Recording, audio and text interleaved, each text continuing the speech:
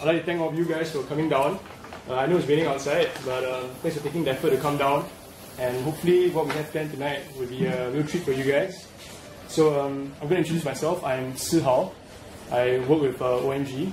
So, today I'll be the host. And uh, my co host actually is at the back, uh, Shamin, who will be helping us later uh, with any questions or anything. Um, so, just a question, quick question. Anyone here ever used a laser machine before? Laser cutter, just a show of hands. I just want to get a feel of the room. Okay, so maybe about one third. Okay, so among those one third, anyone actually uh, built their own machine or repaired their own laser machine? Okay, really nobody. Okay, that's perfect. That's perfect. Because that's actually the content of the talk today. Uh, this talk, basically, um, it won't be too technical. So for those of you who, who haven't uh, played around with this kind of technology, uh, you'll find that it'll be quite it'll be quite accessible and everything. I, this is new to me as well, so hopefully I can learn along with you guys. And um, yeah, so the speaker tonight is uh, his name is Kiwi. This is uh, this the name that he goes by. It's and he's a very accomplished uh, accomplished machine builder and designer. So what you see here in front of you is something that he and his team have uh, put together.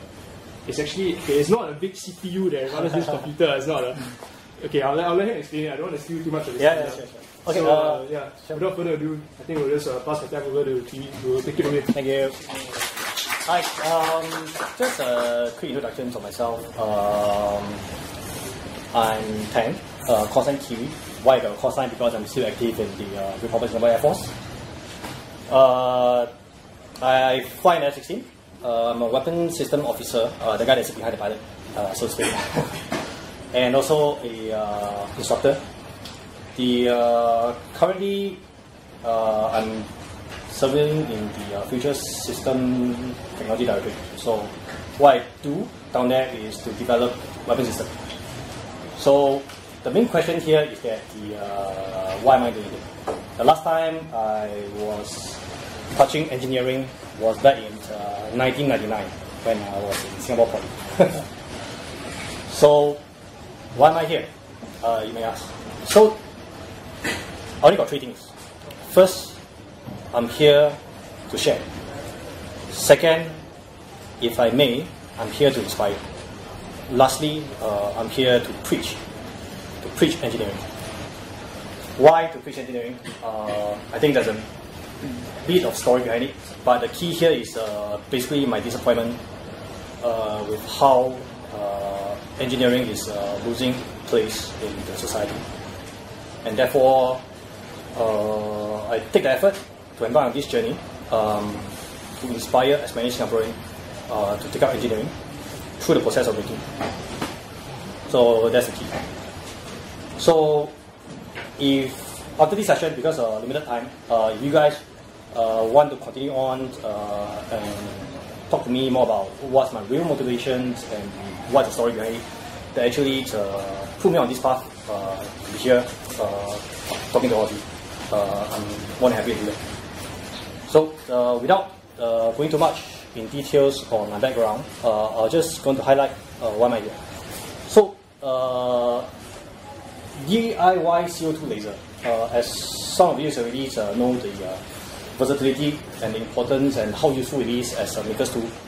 Uh, the reason why I want to touch on this topic first because I think this brings the most value uh, to any makers. Because as far as I'm, I'm concerned, uh, CO2 laser in fact is one of the most prized assets in any maker's toolbox.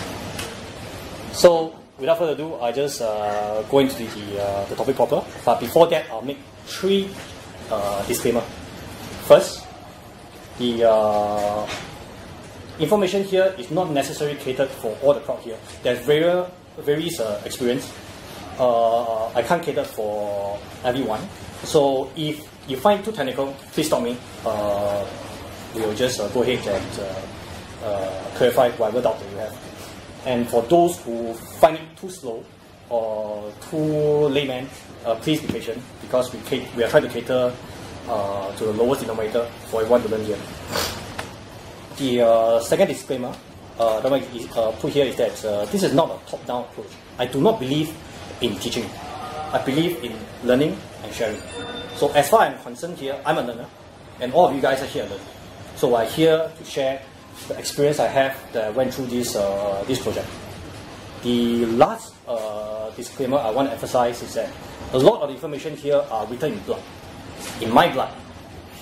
Uh, why I say that? Because uh, uh, throughout the process of doing this, trust me, I was shocked, I was burnt, I got cut, and so on and so forth. And I always believe in putting myself in the harm's way so that others who follow me do not need to do that. And therefore, along the way, I will emphasize quite a fair bit of safety points. Uh, just take note, is uh, those are no doubt, and it's really uh, true personal experience. If not, I'll just continue.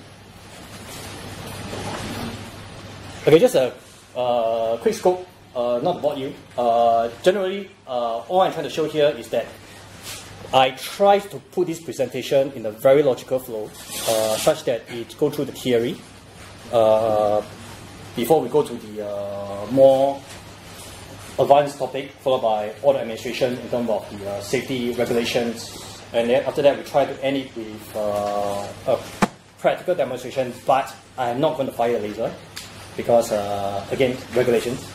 But I will open up the, the, the laser cutter for you guys to take a look see uh, so that you guys can kind of uh, comprehend exactly what we have been talking about and how to see it in the actual action. Uh, last but not least, but uh, go through the Q&A session.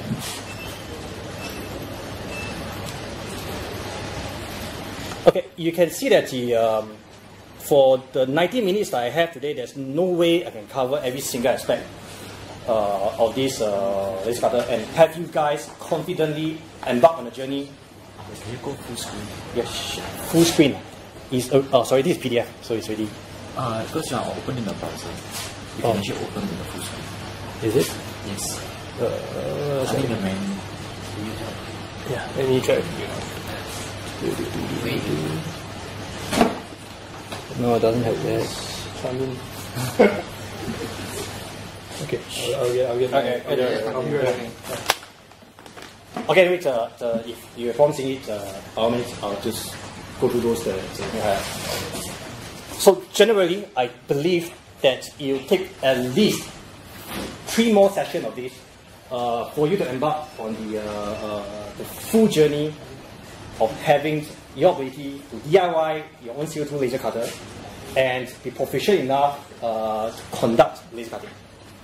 But just for today's purpose, uh, just hi- on the introduction to DIY uh, CO2 laser, the ultimate learning objective down here is just to give you a basic understanding of what is needed uh, before you embark on this uh, uh, project. I think it's really difficult.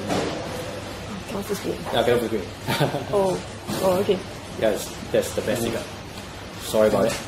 Software limitation. Software limitation.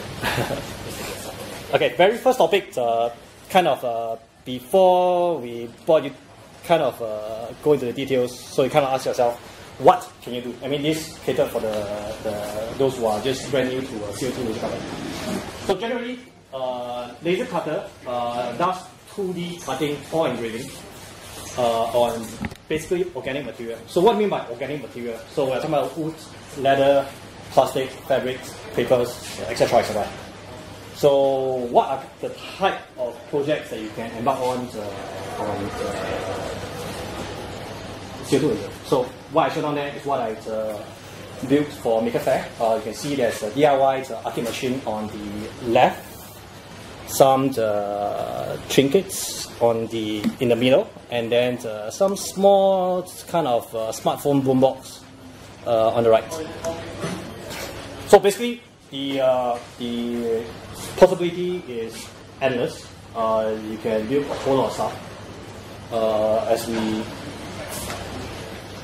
come to the more advanced stage when you guys really are uh, doing laser cutting, then we can kind of go to more details of uh, uh, what are the techniques of uh, building all these projects. Okay, the I know it's a bit boring for this, but I think it's good to have some basic understanding. This is just a, a very quick uh, laser theory uh, quickie.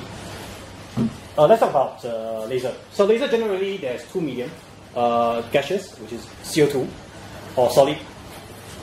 So the uh, solid state uh, laser, on top of the common ones, is the uh, the EX laser. which is in the uh, 1.06 micron. So what's the difference between CO2 and the and the solid state? So you can see the wavelength is uh, for CO2 is different first and foremost, and as a result of the difference in wavelength, uh, the absorption by the materials also varies. So you can see that CO2 is actually good for organic material, whereas YAG laser is in fact mainly for metals and is actually not absorbed by the most organic material.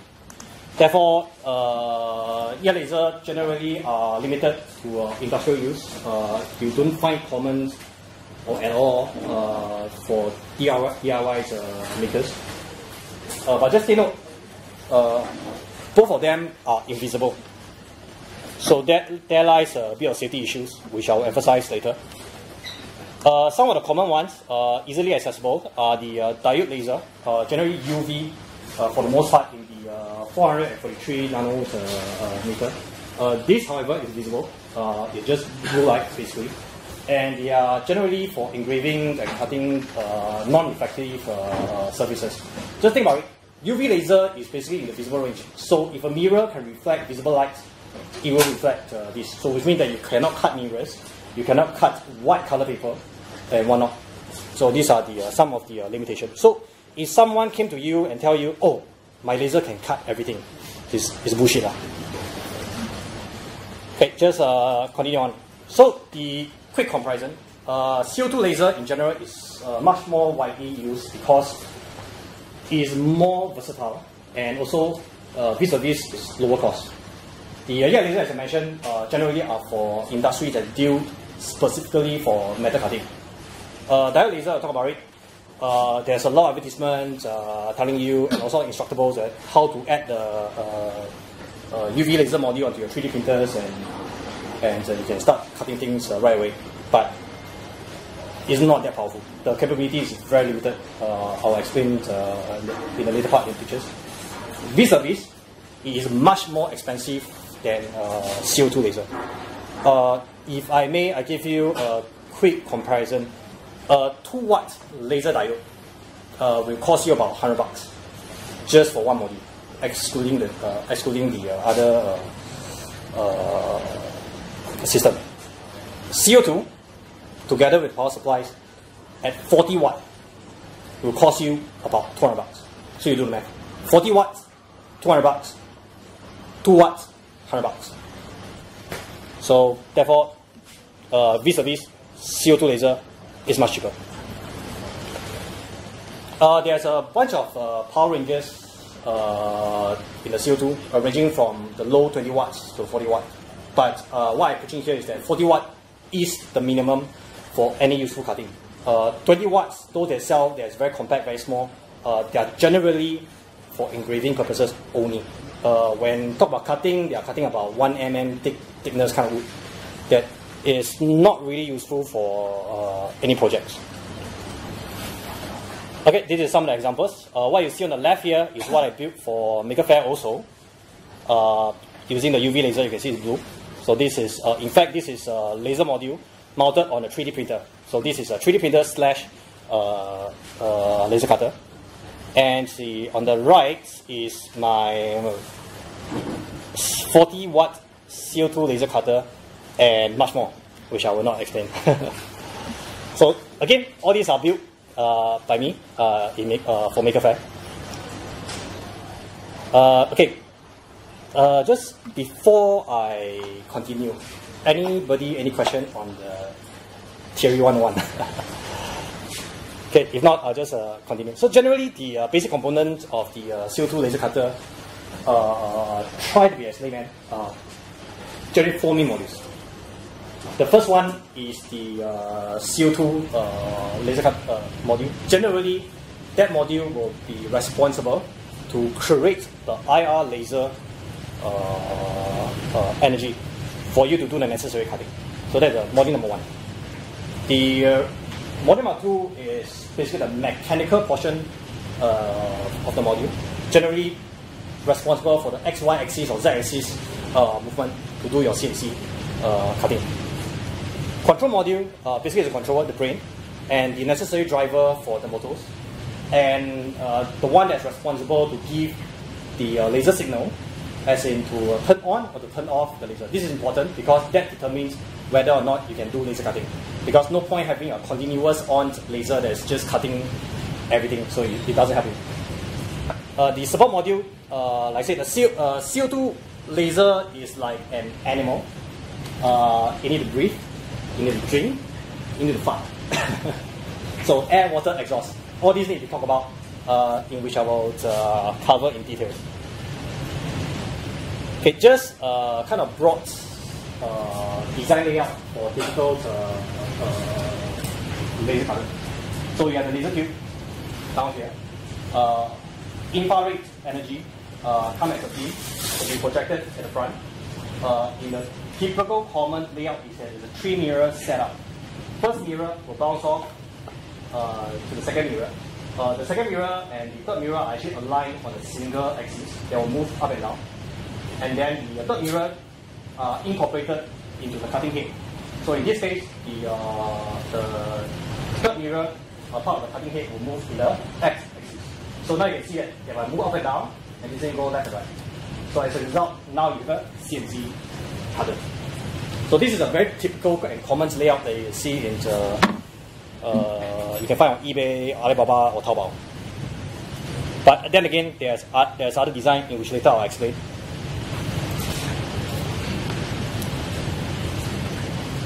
Okay, in the laser module, generally, uh, I'll try to break that down into two parts, consumables and non-consumables. Uh, the reason why I will try to bring this up because I need you to understand that uh, CO2 laser cutter, when you build one, is not there permanently.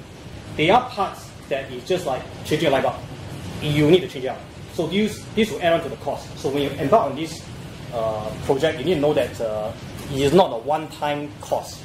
Along the way, you need to continue to pay uh, the premium for using a CO2 laser. So for the consumables, the CO2 laser tube, where the IR source come from, these have about 5,000 to 10,000 hours uh, lifespan. Uh, again, uh, depends on how well you maintain it. Uh, it's just a light bulb. It, varies. It may or may not uh, uh, uh, go by that, that range. Sometimes it gets broken much earlier than that. The other consumables are the first mirror, second mirror, and third mirror, of course. These mirrors, in a while, I will just pass this around. Generally, it looks something like this. You can see that uh, the one I have in my hand is a bit blurred because it's consumables. So it's already uh, run out of life. So I will change it.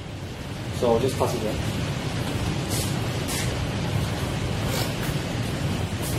So the again these mirrors uh, they are actually quite cheap. It's about five bucks each. So you need about three. Uh, how often do you change it? About six months. And also depends on how well you maintain it. Because if there's dirt, oil or whatsoever from the from the exhaust and fumes that actually stick on the mirrors, uh, it actually build up heat and uh, mean, uh, actually doesn't help it to dissipate the heat. So the thing will actually uh, uh, damage. The last part of the consumer is actually the, uh, the lens. So just like imagine like a magnifying glass. Uh, just like when you guys are kids, you go down to the sun, under the sun, and you try to learn something using a magnifying glass. Same thing. The beam coming out from the laser tube initially is not focused. Generally, they are looking about, about 1 cm in diameter. Uh, the cutting power is not there. So what uh, turns that IR energy into a focused beam that actually can cut through um, uh, material is the focus lens. Uh, of course, the lens come in the various uh, focal length, depends on your need. Uh, whether you want to do a shallow cut, deep cut, and whatsoever. Those we'll talk about subsequent session. But for now, just know that there is something called the uh, focal length. Uh, the focal length looks something like this. Again, is a consumable, so you can see there's a bit of scarring. So which means that this thing actually is, uh, ran out of life. This thing costs about 20 USD. Okay, the so that's for the uh, consumables. The non-consumables generally are the fixed power unit. Uh, they will just take in your typical uh, 13 amp trading plug. Uh, but just you know, the output from the laser power unit is 20,000 to 40,000 volt. So that will kill you. Uh, in addition to uh, providing the power uh, to the laser, laser tube, it also provides uh, the control interface. The control interface generally consists of three, uh, three functions. First one, uh, to turn on or turn off the laser. So which means that your signal from the controller uh, go into the power unit and that will turn on or off the laser accordingly. Number one. Number two, uh, there's a safety switch. So the safety switch uh, is your master on and master off.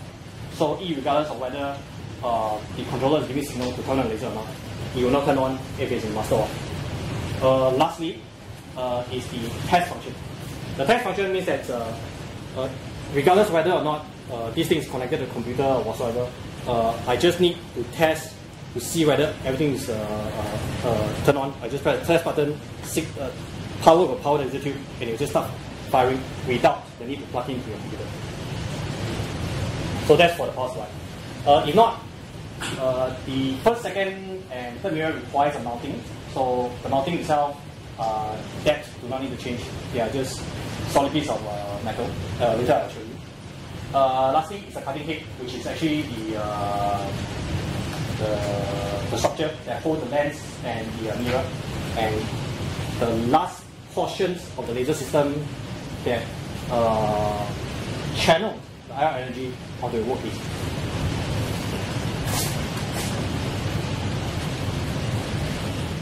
Okay, rather than using words to explain, I would rather use uh, pictures. So on the extreme top left, uh, this is the power unit. Uh, the red color is where the high voltage uh, output is. The uh, lens, of which I will pass around, looks something like this. The, uh, the laser tube. And these are the uh, first mirror, second mirror, and the laser cutting head. So it kind of like a periscope with a focal lens. And that's its origin.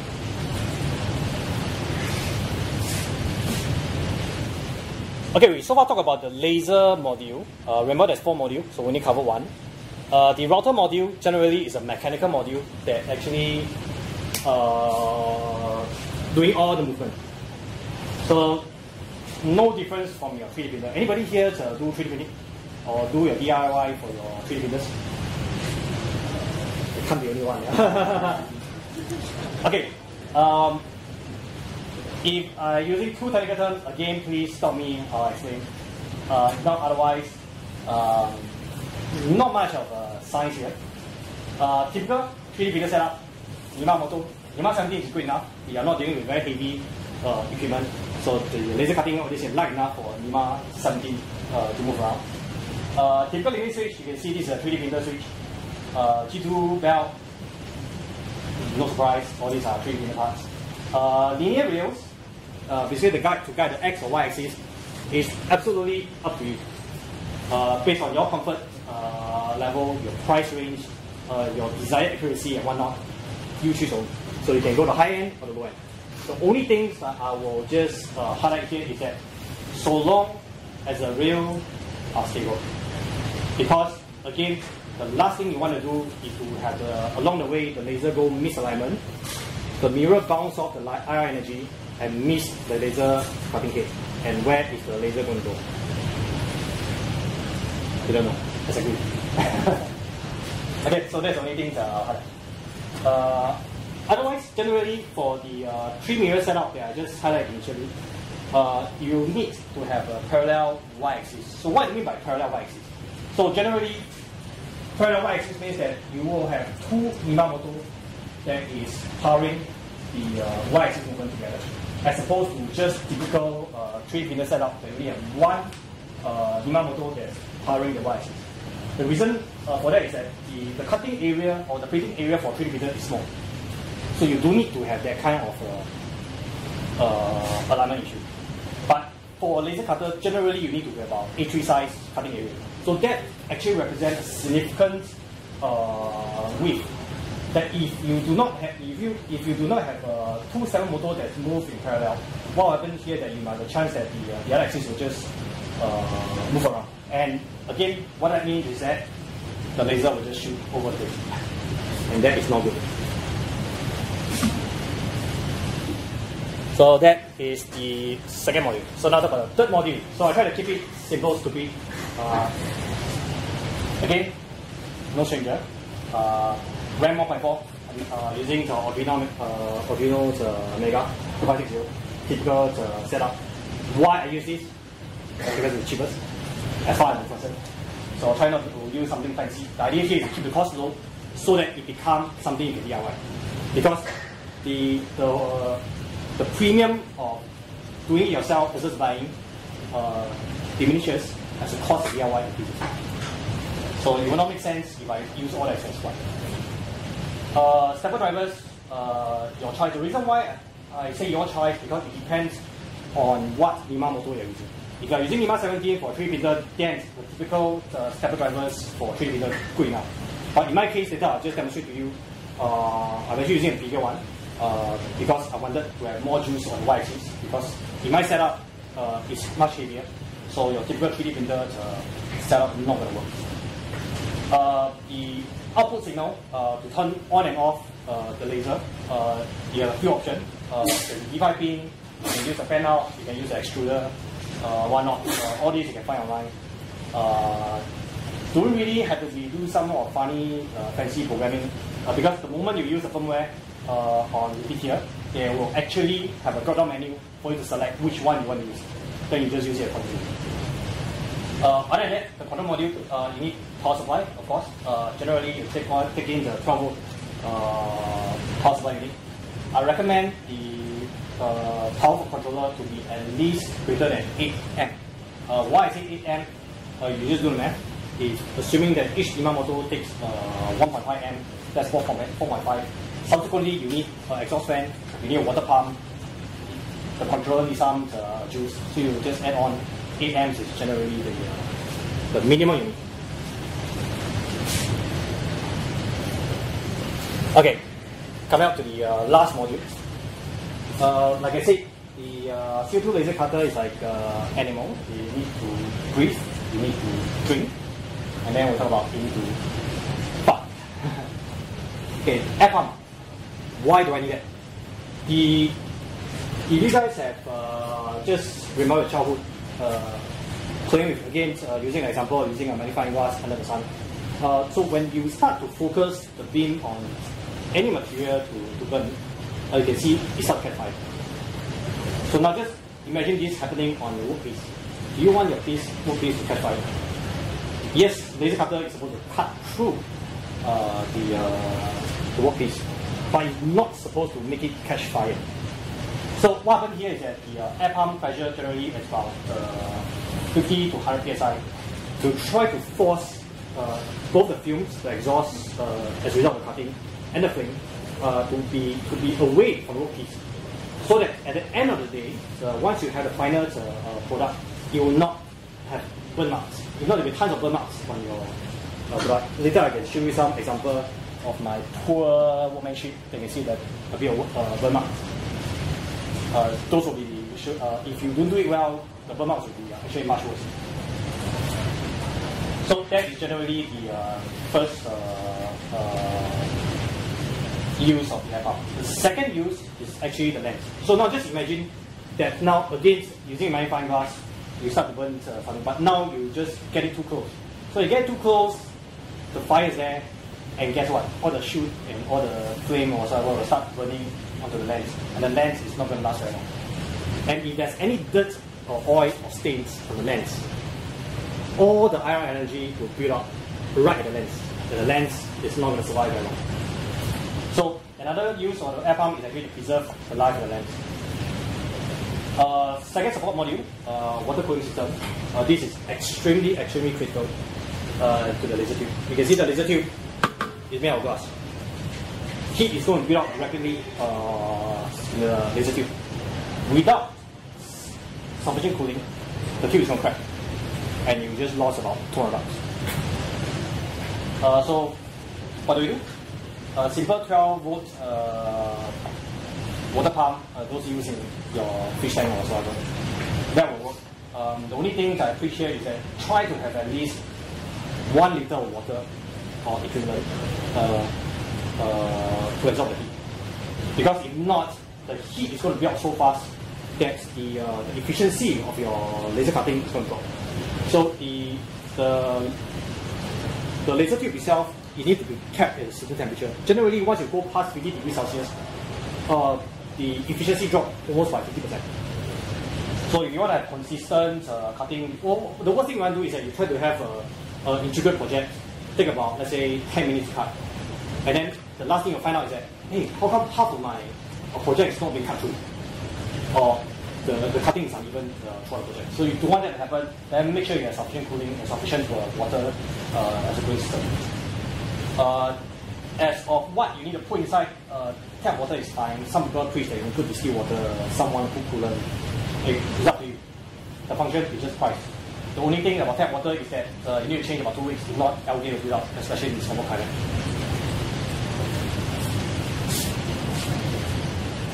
Okay, last part of the uh, support module, uh, broadly, is an exhaust system. Really, it's a must for your health sake. Trust me, uh, I put myself in that position before. So, you need it. Uh, generally, your typical 12 volt uh, fans will work just as well.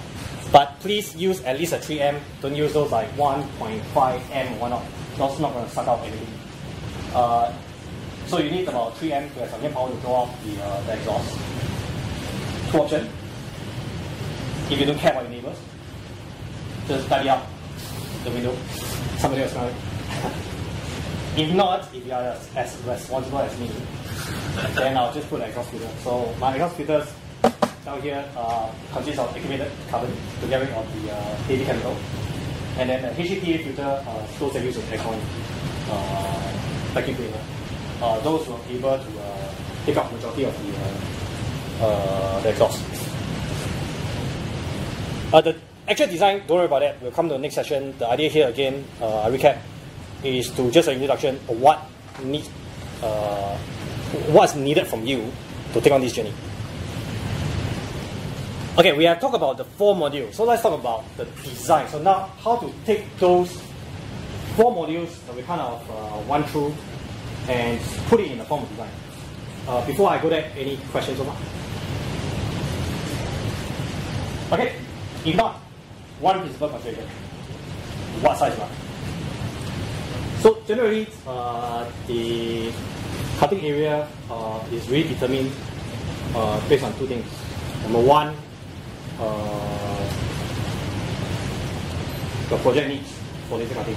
So what is the size that is practically needed for you uh, to cut for a project? That's number one. Number two, if you were to put this in your room, how much real estate you have? That is the second question. So once you determine that, then you can determine what kind of cutting area. Then from there, you can start design on. So the then again, the size is not unlimited. Why I say that? The CO2 laser, uh, like any light, actually attenuate uh, distance. So for every meter that you go, the power reduces. So let's say I want to take the laser tube and point something down stream at about 5 meters. Do you think you can cut anything? No, it doesn't. So in fact, the, uh, the, the degradation uh, is so significant, especially in a PSI 400 environment inside the uh, laser cutter. It is really not feasible to go beyond uh, A3 size. Anything above the A3 size, uh, I think some of the guys who work on laser cutter realize that eh, there's certain part of the uh, workpiece uh, simply just couldn't get cut. And there's inconsistency. And why? Because they just over-designed the, uh, uh, the cutting area for uh, small little uh, 40 watts uh, laser. So, if you really need that kind of size, the option A, you get a bigger laser uh, tube, which is 80 watt, and then accept the lower efficiency. Or you can design in such a way that the laser tube actually move together with the cutter head. So as a result, the distance will always be maintained constant as one, but it has its mechanical uh, complexity. Uh, I'll talk about it uh, more. Okay, emphasize. 40 watt laser cutter generally A3 size uh, is a recommended size. You can try more, but you will just suffer the inconsistency of your cutting power. Sorry, Yes. When you say that there is an inconsistency is bigger than A3 size, Mm. then my question is, if let's say we cut it twice, will it, will it uh, Yes. reduce the side effect? Yes, so the the to cut it, again cutting it twice means that you need the uh, two things you suffer lah. Time, obvious. Second is that the do you have a bigger water cooling system because now it will work two times. You get it? So yes, and the short answer is you can. You can do a double cut, triple cut, triple cut if you want. Uh, but we uh, just remember each time the laser cut one time, uh, the uh, there will be burn, marks. One pass, one burn mark. Second pass, second burn mark. Third pass, four burn mark, and so on and so forth. And then the quality of the uh, the workpiece will suffer. Any other question? Okay, so the basic design concept after we talk about all this. So generally, the uh, the most common one is the three mirrors uh, layout which I showed. Uh, if you may, I'll just put the whiteboard here. So this is just what we went through. Uh, laser tube, first mirror, second mirror, third mirror, allows for y-axis, x-axis. Uh, z-axis doesn't really matter. Later I'll tell you why uh, the, the need. Uh, for the this is the most common layout uh, you can have again, but again limited to about uh, A3 size. Two mirrors layout. Well, this one interesting. so two mirrors layout, what it does is that you only have one mirror and the second mirror on the cutter head. So what it means is that the mirror actually uh, the whole cutting system moves this way together with the, uh, the first mirror, and then the uh, laser cutter head will move this way. So what happened here is that you have all this area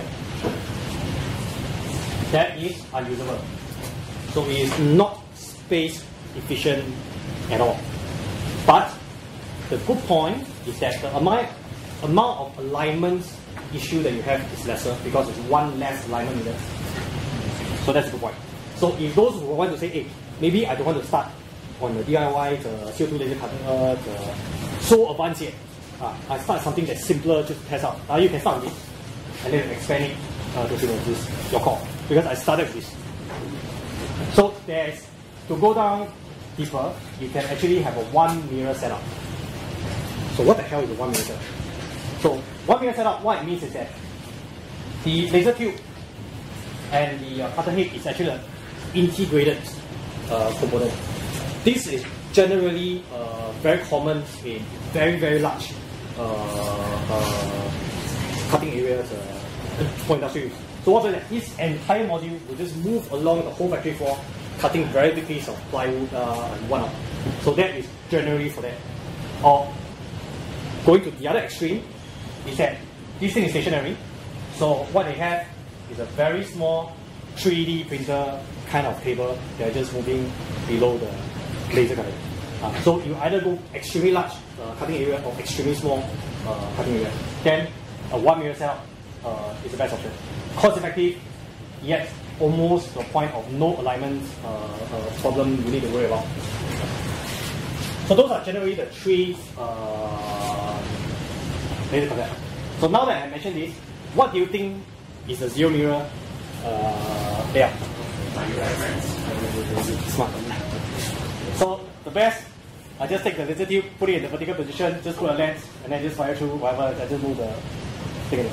Nobody has tried it, but if you are able to build one, then uh, you can put out a Kickstarter. Sorry, one question. yes. So for the 3D printers modification, right, you're Yes. using two mirrors or Oh, for the 3D, print- uh, generally, I will go to 3D because for the cutting area you is 80 size. But let's say, uh, let's say, uh, let's say, uh, uh, you are absolutely just want to cut the exact same like 21 cm by 21 cm, like a 3D printer. Uh, then keep the cost low. Uh, just buy the tube, buy the cutter head, point the thing, the shoot, then you just move the table below. Solve. So that would be the easiest. But then again, laser cutting something that's limited to 21 cm by 21 cm, so not very useful. So, but in fact, there is a commercial use for those kind of system. Uh, what is used is actually on the in the office place they do engraving on the uh, on like big computer system or so you put on there. This is it will move away. Okay, so far we have talked. We have just run through the uh, kind of nuts and bolts of as uh, what put into a laser cutter.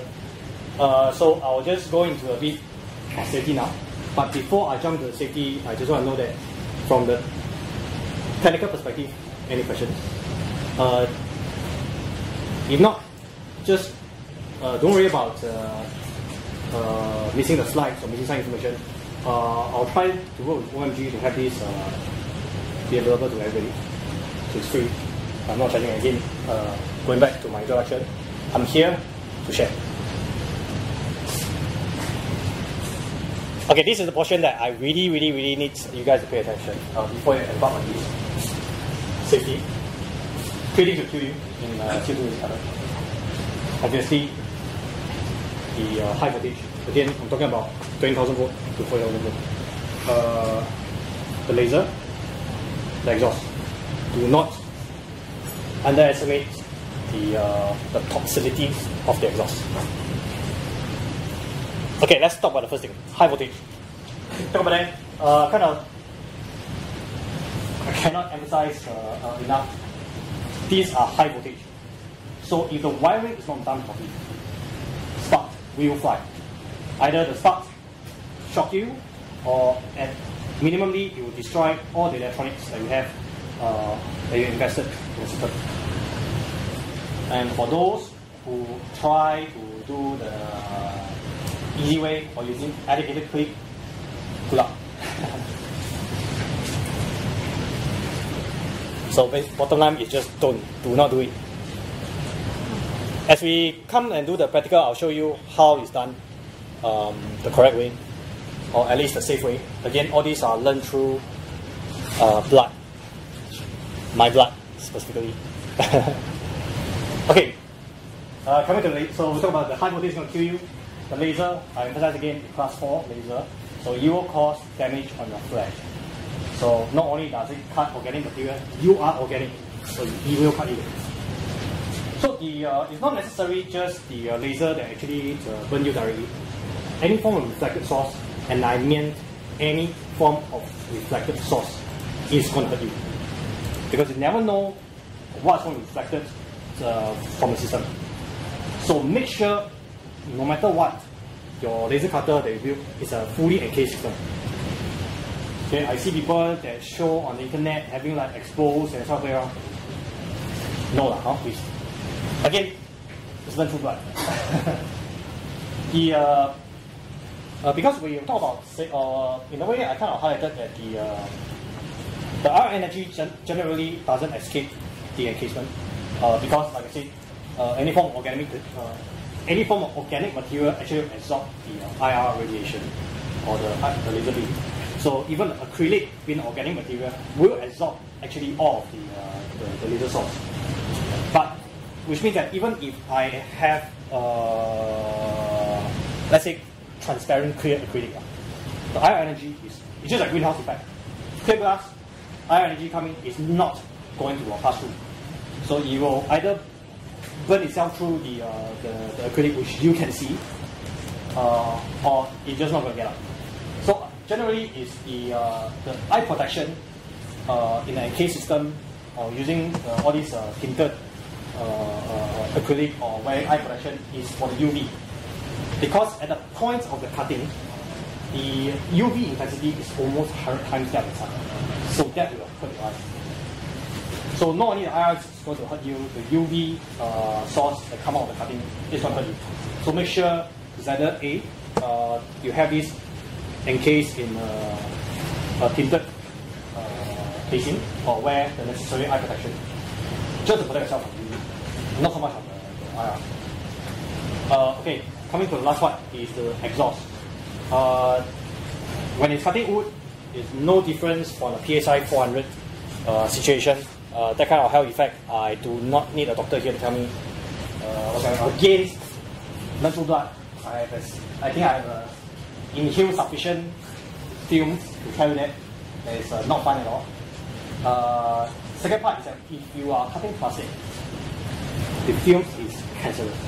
And not just that, there's a whole lot of other nasty uh, uh, chemicals coming from it. In fact, give you an example, PVC, when you cut, it actually give off chlorine.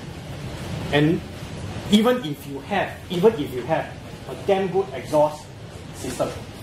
The chlorine is going to destroy almost every single component inside the machine. So I will not cut PVC using my CO2 laser. If anybody want to pass you PVC to cut, I'll just no.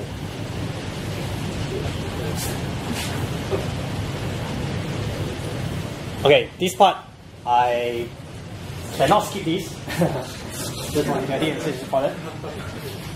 Okay, but I'll, uh, I have to highlight, uh, just give you the uh, kind of understanding that uh, you realize that the only regulation that governs CO2 uh, laser or class 4 laser, in fact, is NEA. But it sounds very funny. Why NEA? So just to bring back the, um, I just read out a bit. So the, the genesis of this uh, regulation actually came about in the 90s when the Singapore started to actually industrialize. So to protect the workers, this regulation is uh, set up uh, to protect so that Singaporeans do not uh, suffer industrial injuries uh, without due form of control on the company. So many years down the road, so those kind of laws in transition. But then again, the uh, three type of license that's available uh, that's so-called relevant uh, to Singaporeans are the N1, N2, and N3. You can research that online. But again, the reason why I say it's a grey area because it is meant for company who is dealing with manufacturing or selling.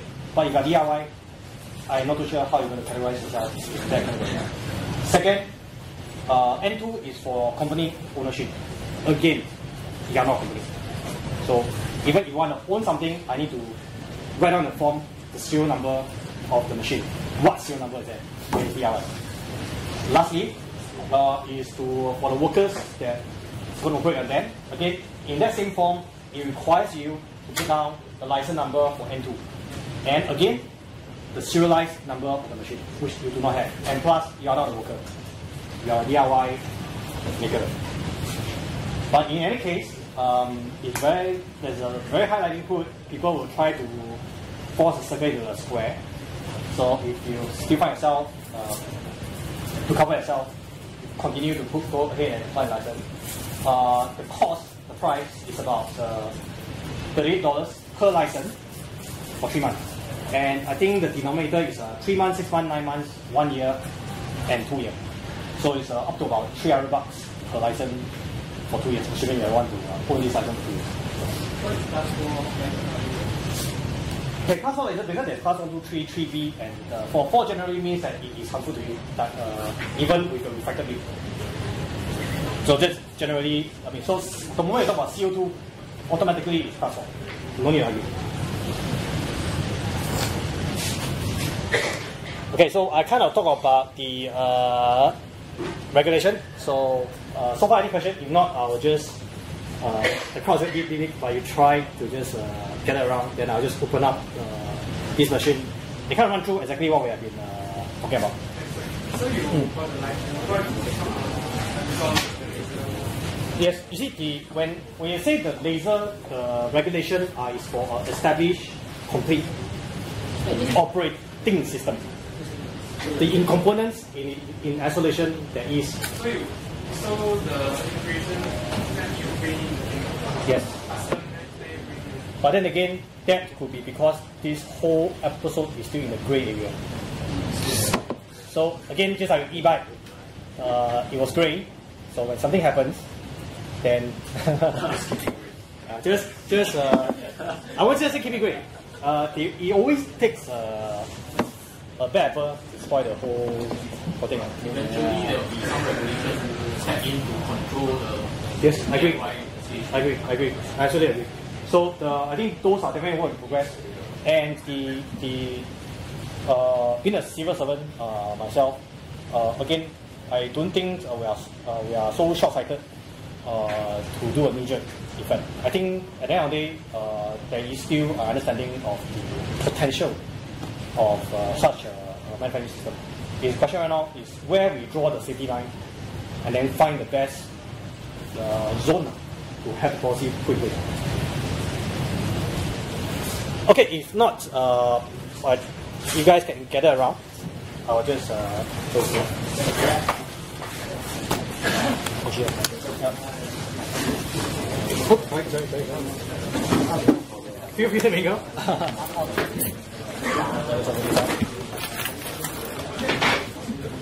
yeah, let's you can come over and reset it. Yeah, I do, I.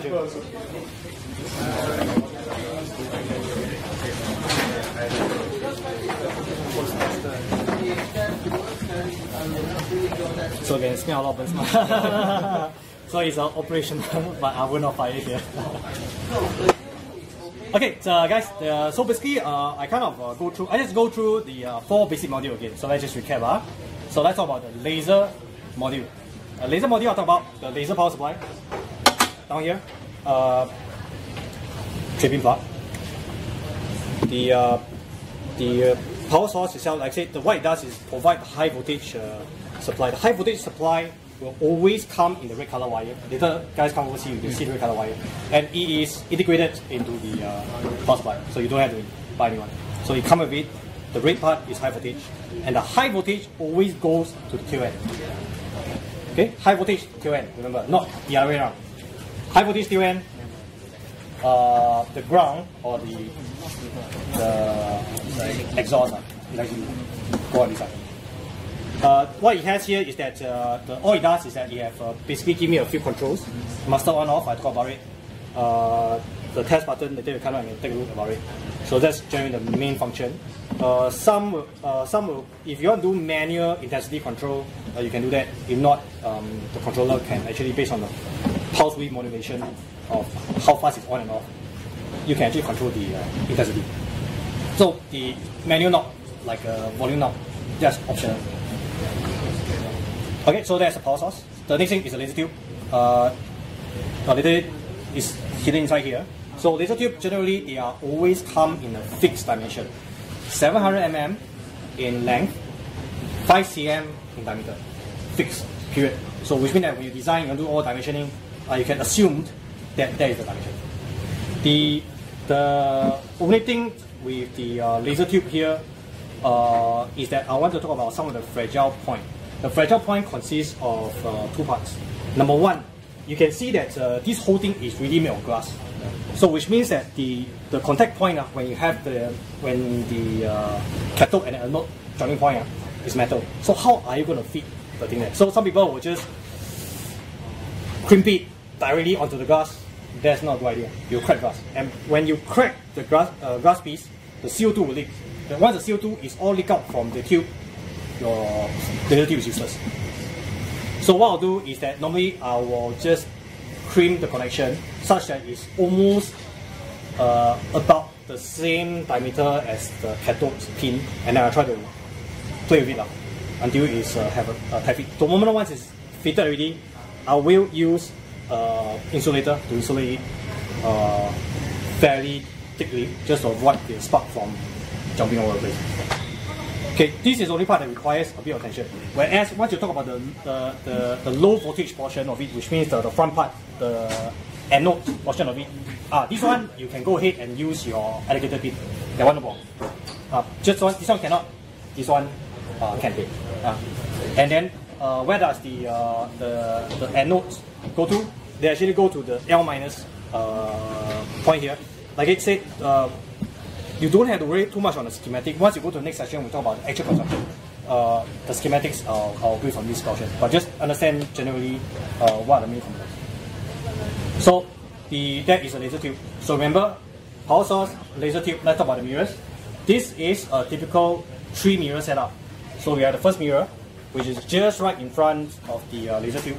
So IR energy uh, is going to get excited, escape from the front part, bounce off the first mirror, go to the second mirror down here, and then go to the cutting head.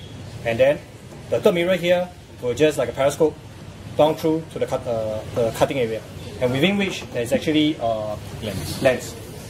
So you can see that this thing is uh, y-axis, moving up and down, and then x-axis, moving this way. Uh, so which means that at all times the beam is actually bouncing almost exactly uh, to the same cutting from x and y axis. So that's generally consists constitutes the whole laser module. So that's one module. The second module uh, we talk about is a router module, uh, which controls the X, Y axis. In this case, there's no z axis. It's just x and y. Remember, uh, laser cutting is a 2D business. It's not 3D business. When people tell you it's a laser cutting can do 3D, it's like freaking BS. You know. I know some Kickstarters doing that. it's- take my word. okay, so um, like I uh, previously said, it's uh, basically just a typical 3D printer setup. Uh, in this case, uh, par- uh, like I mentioned, a parallel white uh, uh, y-axis. So you can see two Mi- NEMA Moto, one and two NEMA 17. Uh, and then the third one is actually down here. This is the uh, x-axis. So two y-axis, one x-axis. That's it. Uh, and then what is the power? Uh, the linear guide generally uh, I'm using a bit beefy one.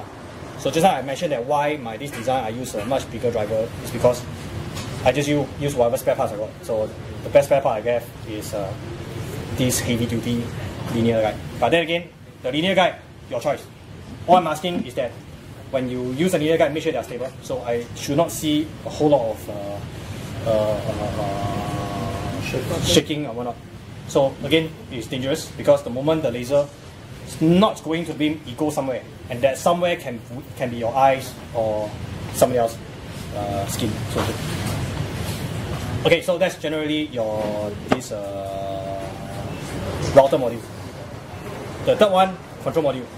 So for the control module, just let me push this by the bit. Okay, control module. Again, for those who are familiar with 3D printers, uh, all I have here, later you guys can take turn and just share around. Uh, is your typical 3D printer board. I'm using a RAMPS 1.4 because I think it's the cheapest. Uh, just to keep the cost low. Uh, you can use whatever you want, uh, but just use this if you want to keep it cheap. The uh, the pin in this case, uh, my signal coming out, I'm using pin five. Uh, pin five is basically this orange wire. Later you come. Uh, I'll just point to the guys are not here. Using pin five, then ultimately go to your fire laser fire input down here. Power control. So when everything is turned on, uh, when you send the uh, necessary uh, G code uh, into the computer, it will have the sequence of when to on and when to off the laser uh, to the power supply unit. And then accordingly, uh, this is where how it cuts. The uh, power supply, uh, I talk about it, uh, is down here. It's 12 volt power supply. Generally, it's uh, greater than 8 amps. Why I say it need 8 amps? Because I will just show you. Because I need the pump that is something so small inside. This is a water bottle, by the way. Then you need to run the exhaust. Okay, and then some of you may want to run your air pump using your 12 volt, but in my case, I'm using directly from the AC power. So make sure that you have the, at least an 8 amp and above uh, 12 volt power, su- power supply. If not, it's uh, not enough juice to run the, uh, the whole system. Okay, so that is the control module. The last portion of it is the uh, support module. I just show you the uh, uh, water part. Uh, again, you need something of this capacity of water just to have any useful duration of cutting. If you have any smaller, chances are your water is going to heat up very fast, and you realize the efficiency of your CO2 laser cutter is going to drop quite drastically the other, uh, that's water. Next thing is the uh, uh, exhaust. Uh, later you can come over here. So basically, it's just a uh, duct fan. Inside there is a activated carbon filter and also the uh, filter uh, to kind of filter the gas. The uh, last of the support system is actually an air pump. Uh, you will see this tube. So remember what I say the uh, the air pump is used for two things. First, to make sure you have a good cut, so you force the flame and force the, uh, the exhaust away uh, from your workpiece. The second is to keep the lens clean. So what? I'll just take this out. So this is a laser cutter. You can see the, the lens is actually inside the, the, the laser cutter. So what happens here is that the, the, the air pump actually pump the air uh, on the forward section or basically the contact area uh, with the workpiece. So in this case, there will be always be a positive, uh, positive uh, airflow or pressure going this way. So any form of flame or smoke or whatnot will not get into the uh, cutting head and dirty your lens. Because once the lens get dirty, uh, be it because of the smoke, or be it when you install this, you have your saliva or your hand marks, oil, whatever drop in between, that particle will trap heat from air source. It will be there forever. It cannot escape. And each time you burn, there will be a, the, the heat will build up, and the uh, lifespan of your lens will just uh, die. Then how about dust? Same. Same. Same. Anything that burns, anything that heat up is good game. And you know, the thing will not disintegrate as it burn. No. It will be there. So you burn a dust, the dust become dust or ash. It will still burn. Um, how about mirror acrylic? So will it bounce back because it is mirror almost? uh, no. For the acrylic, like I said, uh, for IR energy, it will just be absorbed. So, which means that let's say you got an acrylic mirror uh, that you buy from, let's say, Art Friend, uh, you will cut nicely. Yeah. Uh, okay, so we uh, kind of run through kind of component. I'll just leave this here. So you uh, on the uh, kind of broad idea of how this component is made out. Again, I want to emphasize the session today is a pure introduction. Just want you to know that what it takes to build a laser cutter. Uh, for me, it only took me one and a half day to build this. Uh, because there was a bunch of SUT students that wanted uh, a run through. So I just, over the weekend, just build something and show them on Sunday. Uh, pardon my workmanship, really.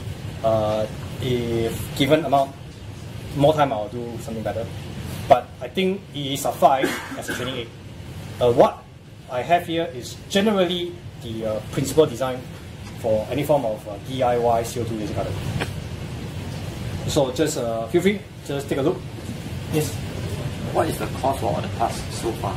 Uh, so far, gener- okay, I use a lot of recycled parts, so I'm not going to use this as an example. Uh, let's just say that you want to start from scratch. Generally, you are looking at approximately, uh, s- I don't know, about six hundred and ninety-two dollar again, again, I will, I will, I will uh, put the uh, bill of materials uh, the moment we come to that session. Ah, then you make a decision. Uh, again, those costs does not include workmanship. How much is the CO2? CO2 laser? uh, so the tube itself, including shipping, is about 120, 130 bucks. You can bring in a CO2 laser without. I brought in bigger. No. No, I say the license is when the whole thing is built. Then you run into the issue. Because remember the the, the, the license the NEA license uh, uh, when you file uh, even if you let's say I want to be a, a good good citizen, I want to get all the license that I can get before I buy anything. Even I want to fill up the form, it says what is the serial number of your machine. There's none. okay, anyway, I'm still trashing this out with NEA. Uh, how you adjust the mirror so that make it like, like Good question. Uh, there is a safe way and there's another safe way, and you see already, you'll say, oh shit, what the hell is going on? Okay, the, the, okay, we're, get, we're getting a bit uh, more technical, but uh, just for your benefit. The, I'll just show you. Okay, obviously at your very first setup, the alignment you cannot guarantee. You try your best in your design, try to measure everything to the best. Use a micrometer, but again, I won't trust myself. So the if you do not, if you just simply based on pure assumption and your measurement, and then you just go ahead and press test button, what's gonna happen? I know teacher where's your IR laser gonna shoot. it can be on your face directly. so what I do is that uh, normally I get a piece of like a piece of wood. I just make sure I put in between uh, fire up. So he, okay, I said, okay, this is about there. As I as I get closer to the uh, the next mirror, I said okay, whether it's, is it shooting in the center? is it really good? It's a higher laser. No, you can't. So you have to put a what do you So you see the burn. you see the burn. So that is for the gross error, first gross error. Uh, so it's two step method. First method is you take a big piece of wood because you try to have a big piece because you never know where the thing gonna shoot. Something big piece, shoot say, okay, it's somewhere there. So it's gross error, you quickly just do the fine tune knot accordingly, such as you go about center and say, okay, aga aga, now that right? So now you put on this side. So if this thing is in the is reflected, is hitting on this mirror, you should reflect here, right? So you put down here and shoot. So do the same thing. If you say okay, aga aga, okay, adjust until it's in aga aga there okay. Then you use scotch tape, clear scotch tape. Then you make sure your power is set at the minimum. uh, on the side. So you say, okay, so now I know this thing can go here, this thing can go here. So I want to make sure that I want to be perfect. Because at the end of the day, the whole beam will need to point through this small little hole. So a lot of times you say, okay, here, here, how come the laser is not shooting out? Because just uh, half a degree error, it will just be the laser will just be hitting the side uh, of the laser cutting edge, so it ain't gonna come out. And the, that is just a layman explanation. So you put a clear uh, clear tape, so you try to do it again the test button. So the portion of the scotch tape, the burn mark, okay, the reason why I use a transparent uh, scotch tape because I can do a relative comparison with the position, uh, relative to the mirror position, where is the burn mark. Then I do the fine tuning accordingly. So once everything is centered, okay, then I just uh, uh, let it run. So that is step two. Step three. Now that you know that okay, this mirror is going here, this is going here, this is going here, and the beam is coming out. But that is only at this position. How about here? How about here? How about here? How about here? How about here? How about here? So every single location you have to fine tune such that uh, the, the consistently uh, the beam is always able to exit from the cutting edge. Uh, then you can be reassured that okay, now I put an A3 size material inside, every single corner can be cut. So that is the the so which means if I were to put a percentage on effort, uh, almost the last thirty percent uh, is alignment. No shit. yeah. yes. So the question is, why three mirror when there's so many room for it? Why not just Yes.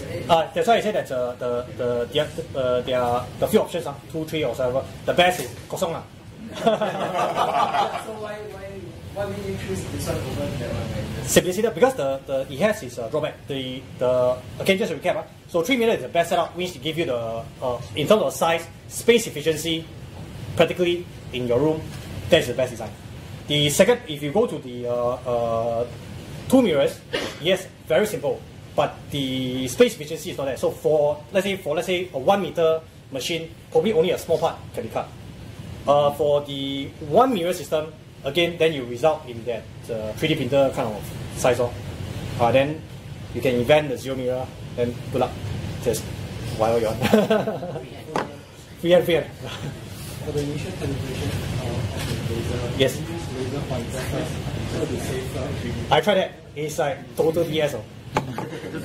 I the two parts. ah. Number one, how much you spend on the laser pointer? Your typical laser pointer they use presentation, one dollar fifty cent. How accurate do you think that the laser is? it's not it's not sighted. So what's it? Let's say the whole thing is like, oh okay, I want to have this uh, laser pointer of this, let's say, 10 cm. Align properly. I put all I measured. Okay, sweet. The thing fire out, ah, it's like all over the place one. oh. So you base on that and you try to align. Guess what? Again, all these are learned through blood. I trust me. That's why I say, okay, it's absolutely bullshit. So I just use this method, solve the problem. It's cheap.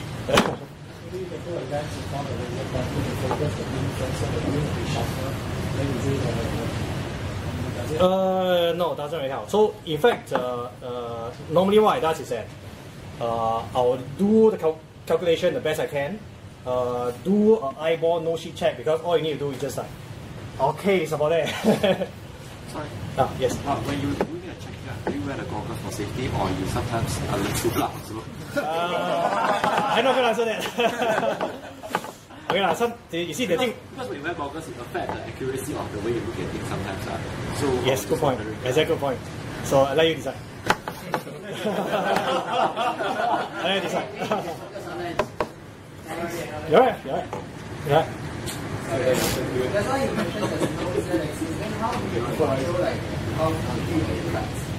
Uh, no, because uh, what happened here is based on the, uh, you see, uh, a 40 watt laser cutter generally cut about 5 mm worth of plywood uh, that you can get from Art Friend. So that is your actual design material. So I ask you, uh, so let's say you want to have a CO2 laser cutter, how thick of a material you want to cut? 5 mm? Yeah. Because what's the difference between 5 mm, 3 mm, and 1 mm? Nothing. Uh. If, I just need to cut one let's say, do you, have something like water sensor? Uh, no need. the because you see the the the difference, uh, let's say difference, uh, because I, I put it across quite practically. Uh, let's say I got range material, I'll cut 1 mm up to 5 mm. I know 5 mm is the max. And most of the time, I cut 5 mm. So I put my focal length at 5 mm. And I cut 5 mm. And when I say I put at 5 mm, means that uh, uh, how I judge, uh, it's not, when you say the focal length, it's not say that you, wow, you go and measure the spot of the focal beam. Uh, that say, oh, this one uh, looks like it's the smallest diameter. No, no. So what I did is that uh, uh, generally I put about 2 cm above. I just let it run. I see the quality of the cut. If because I know that 40 watt uh, at that kind of uh, speed uh, it should cut through 5 mm. If it doesn't cut through, means there's something wrong with my focal length. Or maybe your alignment is not is not good. Then I adjust until the point that it can cut through sweet on my uh, 5 mm wood. I leave it as it is. And if so now I put a 1 mm, 3 mm material, is it going to make a difference? The answer is no. So what is good on your 5 mm is good for 3 mm and 1 mm. So in fact, uh, in the industry, uh, uh, when people start to say, oh, okay, I really need uh, adjustable uh, focal length, automatic one or some more. Uh, the reason for that is because they are actually cutting very big material, like uh, metal, plywood. That is, when you large material as you get bigger, right, it actually warps. So you want to have consistent cutting power, so the thing actually automatically adjusts. And that cutting heat alone, uh, two thousand bucks. So it's uh, for your intent purpose, no point. Then for their design, they say that oh, hey, I actually can adjust my Z axis now. I can put the whole my whole cutting table cannot. For what? Eh? Again, the maximum amount of thickness you can cut is what? 5 mm. So you adjust what? So, which means that when people have a Z axis option for you, it's not about cutting. It's for engraving. Engraving what means is that let's say I got my CPU, I want to engrave something, but my CPU is too, too thick. So you adjust the Z axis so you can store in your CPU and you do engraving. So these are some of the uh, the, the myths. Uh. Second is also uh, some of the uh, Kickstarter, they say, oh, hey, mine is a 3D laser cutter. What the hell cuts 3D in this setup? Nothing cut 3D. So which means that what it's trying to say is that it has a cheaper version of the autofocus so that you put something like an iPad that is actually have curvature.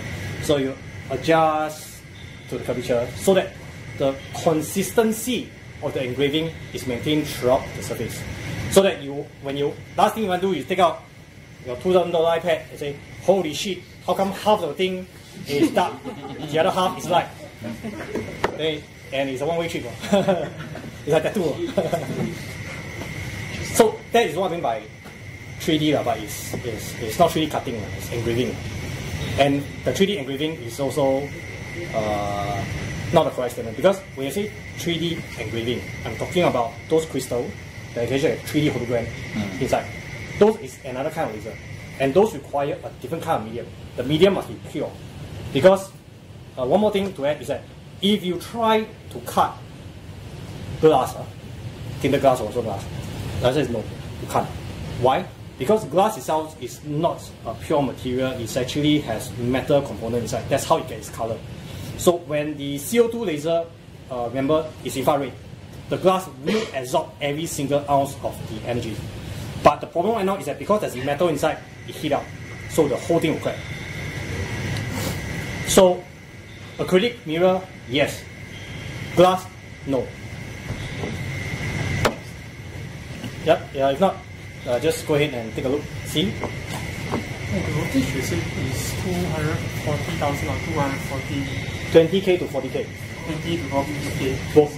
For, so uh, how, how to, so it's like they got boost up the power. Right? Yes, yes, yes, yes. There's a, there's a fly, flyback uh, transformer down here. So what happens here, it become high voltage, low ampere. Low amp. Yeah. So this is a, So it won't uh, just your- a voltage. Uh, Uh, this is just intensity. Uh, so you can, because sometimes uh, you want to put a 10% just to focus, do some focusing on so when you said 20 kilowatt to 40 kilowatt, is it adjustable or is it? Yeah, yeah, in a way, because you're using this This- control. this the one- Yeah, adjust it. So your whole never. No, No, no, it's 40 watt. 40 watt. Still 40 watt. Still 40 watt. Still 40 watt. Yeah, it's true. What is uh, It's, it's, a, it's very, depends on it. Because uh,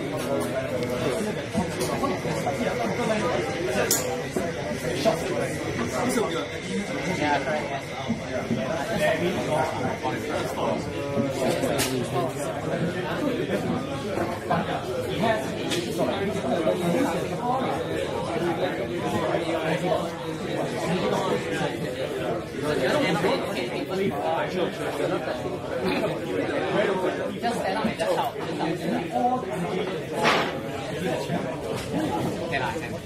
uh, hi guys. Um, so I think right now we'll just uh, stay around, a bit of a discussion with each other.